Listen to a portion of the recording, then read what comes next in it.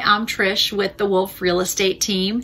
And as with anything in life, the landscape of the real estate industry is ever changing. I mean, 2020 couldn't have been a more shining example of that, how you need to adapt and roll with the punches. I mean, who'd ever heard of social distancing or virtual open houses? But yet, here we are. So I just wanted to reach out and just let everybody know that as much as everything changes, things also stay the same.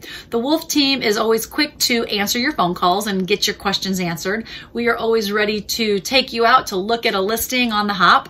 We are always ready to get those homes onto the market just as quick as possible and get them sold even faster.